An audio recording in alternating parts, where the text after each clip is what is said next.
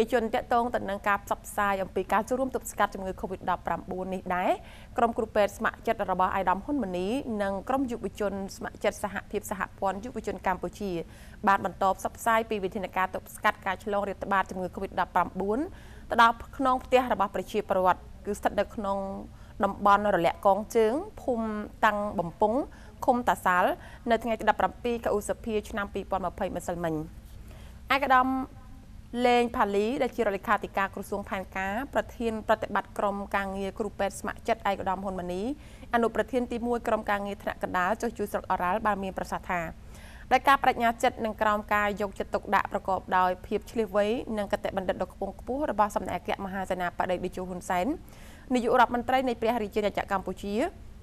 ផែនការមេប័ណ្ណបញ្ជានិងវិធានការនានាព្រមទាំងការឆ្លើយតបបន្ទាន់ត្រូវបានដាក់ចេញអនុវត្តនៅទូទាំងប្រទេស ដើម្បីការពារទប់ស្កាត់ការរីករាលដាលនៃជំងឺ Covid-19 បានរហ័សទាន់ពេលវេលា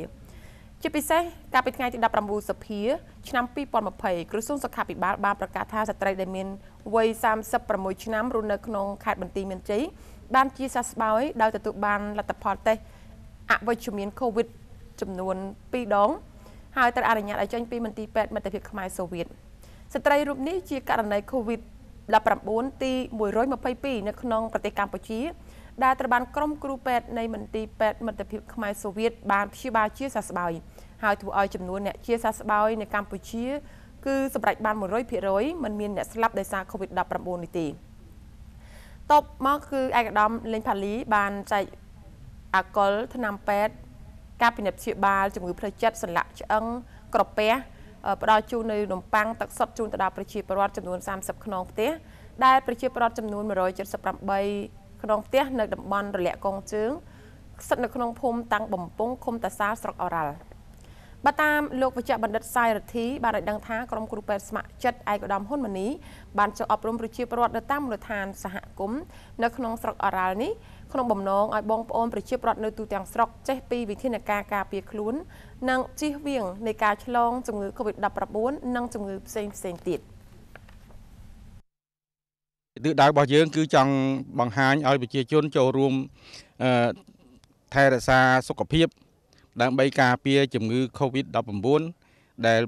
ប្រជាជនយើងទូទាំងប្រទេសក៏ដូចជាលើលើសកលលោកកំពុងតែមានការអឺអឺ ដុតដៃដុតជើងគឺខិតខំដើម្បីការពារជំងឺនេះឲ្យជៀសផុតពីប្រទេសកម្ពុជាយើង ហើយថ្មីៗនេះគឺយើងបានទទួលជោគជ័យហើយ122នាក់របស់រាជរដ្ឋាភិបាលដែលបានគ្រប់គ្រងការព្យាបាលនេះគឺក្រសួងសុខាភិបាលយើងបានព្យាបាលជាសះស្បើយ100%ដូច្នេះជាមោទនភាពហើយក៏យើងមិនបំភ្លេចដែរគឺយើងបានចុះមកដល់មូលដ្ឋានអាស៊ីយ៉ានេះគឺចង់ឲ្យប្រជាជនស្វែងយល់ឲ្យកាន់តែច្បាស់យើងកុំ កុំភ្លេចថាជំងឺនេះវាធ្វើបាត់អស់ពីប្រទេសប្រទេសយើងមែនយើងបានជោគជ័យមែនប៉ុន្តែយើងមិនភ្លេចទេការអប់រំដល់ស្ទាប់ប្រជាជនដែលនៅដាច់ស្រយាលនេះឲ្យគាត់យល់ច្បាស់អំពីការការពារសុខភាព ការពារការឆ្លង យើងមកអប់រំគាត់ឲ្យគាត់ចេះពីរបៀបលាងដៃឲ្យគាត់ចេះពីរបៀបហូបស្អាតរស់នៅស្អាតហើយឲ្យគាត់ចេះអឺពីរបៀប ថែរក្សាខ្លួនប្រាណនៅគម្លាតឆ្ងាយពីគ្នាដើម្បីការពារសុខភាព ការពារការឆ្លងដោយការណែនាំគាត់ឲ្យគាត់ចេះពាក់ម៉ាស់ឲ្យគាត់ចេះលាងដៃនិងឲ្យគាត់ចេះអនាម័យក្នុងការរស់នៅស្អាតហូបស្អាតនិងគម្លាតឆ្ងាយពីគ្នា ទន្ទឹមគ្នានេះដែរលោកពីវវែងដែលជាប្រធានក្រុមប្រឹក្សាគុំតសាលនិងលោកធិតបតីសមាជិកសហភាពសហព័ន្ធយុវជនកម្ពុជាស្រុកអរ៉ាល់បានមានប្រសាសន៍ថាបច្ចុប្បន្ននៅក្នុងតំបន់រលាក់កងជើងមានប្រជាពលរដ្ឋចំនួន92គ្រួសារប្រជាពលរដ្ឋសរុបចំនួន457នាក់អាស្រ័យផលដំណាំកសិកម្មនិងសូមថ្លែងអំណរគុណយ៉ាងជ្រាលជ្រៅជូនចំពោះឯកឧត្តមហ៊ុនម៉ាណីតំណាងរាជវ័យក្មេងមណ្ឌលកំពង់ស្ពឺអនុញ្ញាតឲ្យក្រុមការងារគ្រូពេទ្យស្ម័គ្រចិត្តរបស់ឯកឧត្តមផ្ទាល់ដឹកនាំដោយឯកឧត្តម លេងផាលីចុះផ្សព្វផ្សាយអំពីវិធានការបង្ការជំងឺ Covid-19 និងជំងឺផ្សេងផ្សេងអញ្ញាធិបរបស់ខ្ញុំនឹងគឺថាមានសេចក្តីបាទសបាយរីករាយដ៏ធំធេងដែលបានដែលមានឱកាសឯកឧត្តមហ៊ុនម៉ាណីលោកបានបញ្ចុះលោកគ្រូពេទ្យបាទលោកគ្រូពេទ្យបាទលោកគ្រូពេទ្យស្ម័គ្រចិត្តបាទចុះមកបង្រៀនវិធីសាស្ត្របង្ការការពារជំងឺ Covid-19 ដល់ប្រជាពលរដ្ឋរបស់ ខ្ញុំបាទនៅក្នុងភូមិតាំងបំពង់និងតំបន់រលាកកងជើងបាទបាទថ្ងៃនេះខ្ញុំបានពិតជាមានសេចក្តីសោមនស្សរីករាយយ៉ាងក្រៃលែងដែលបានចូលរួមជាមួយក្រុមគ្រូពេទ្យឯកឧត្តមហ៊ុននីដែលបានចុះមកផ្សព្វផ្សាយដល់ប្រជាពលរដ្ឋអំពីបញ្ហាជំងឺ Covid-19 យើងដឹងច្បាស់ហើយថាជំងឺ Covid-19 មិនមែនកើតឡើងតែក្នុងព្រះរាជាណាចក្រកម្ពុជាយើងទេប៉ុន្តែនៅទូទាំងសកលលោកដូច្នេះហើយវាគឺជាជំងឺដ៏កាចសាហាវមួយដែលដែល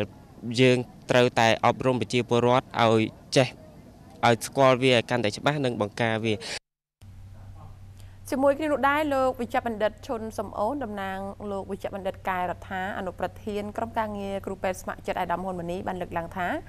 ក្រុមគ្រូពេទ្យស្ម័គ្រចិត្តឯកឧត្តមហ៊ុនម៉ាណីចាប់តាំងពីមានការផ្ទុះឡើងនៅករណីជំងឺ Covid-19 មកគឺក្រុមគ្រូពេទ្យបានចូលរួមគ្រប់សកម្មភាពទាំងអស់ដើម្បីឲ្យប្រជាពលរដ្ឋទាំងអស់ ចូលរួមប្រុងប្រយ័ត្ននិងអនុវត្តវិធានការការពារទប់ស្កាត់នៃការឆ្លងជាប់ជានិច្ចតកតងនឹងកូវីដនិយាយចំយើងបានទប់ស្កាត់នឹងនឹងការរីករាលដាលនិងការព្យាបាលបានជាបានជាសះស្បើយគ្រប់អស់ទាំង122ការព្យាបាលរបស់យើងនឹងបានជោគជ័យទាំង122តែបំឡងនឹងពេលដែល ជាបាលជា តែយើងត្រូវតែអប់រំគាត់បន្ថែមទៀតដើម្បីឲ្យគាត់នឹងមានវិធានការទប់ស្កាត់និងមានវិធានការការពារខ្លួនរបស់គាត់ដើម្បីកុំឲ្យមានបញ្ហាការឆ្លងរីករាលដាលបន្តទៅទៀតបាទនៅក្នុងឱកាសនោះដែរក្រុមការងារគ្រូពេទ្យស្ម័គ្រចិត្តគឺបាននាំយកនៅអំណោយដ៏ថ្លៃថ្លារបស់ឯកឧត្តមហ៊ុនម៉ាណី ចែកជូនទៅដល់ប្រជាពលរដ្ឋជាពិសេសគឺនៅខាងរដ្ឋបាលឃុំតាសាលរដ្ឋបាលស្រុកអូរ៉ាល់និងមណ្ឌលសុខភាពជាស៊ីមអូរ៉ាល់សម្រាប់ប្រាស់ប្រាស់ផងដែរដែលមានដូចជាម៉ាស៊ីនវាស់កម្ដៅមានដូចជា gel